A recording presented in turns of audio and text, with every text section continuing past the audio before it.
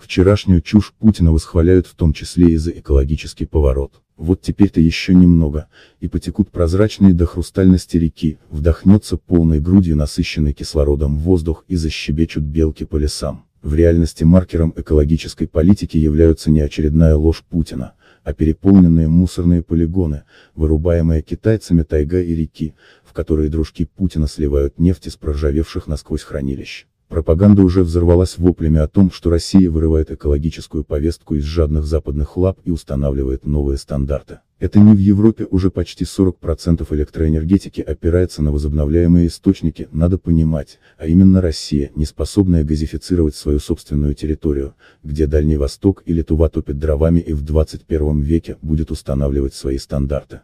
На сегодняшнем экологическом саммите именно Путин будет задавать тон, рассказывая открывшим рот империалистам о небывалых достижениях энергетической сверхдержавы, обладающей всем спектром энергетических технологий в любых количествах и объемах.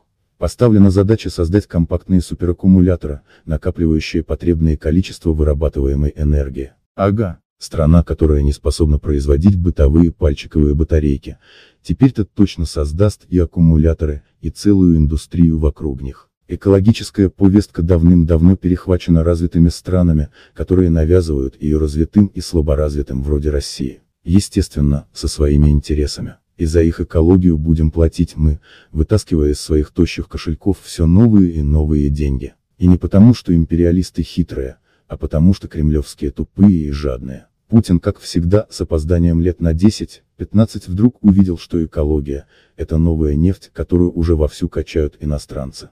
Но он опоздал, и опоздал фатально, туда его никто не пустит. Там люди куда как поумнее его дела делают, а парни из подворотен могут только битами выколачивать последнее. Не по их уму эта повестка. Сегодня Путин на саммите по экологии будет что-то такое бла-бла-бла. Но его позвали не для того, чтобы слушать его ахинею, а чтобы поставить условия, которые он будет выполнять, даже если вслух станут произноситься какие-то грозные заявления. Банкрот никого не интересует ни как партнер, ни даже как собеседник. Его просто едят.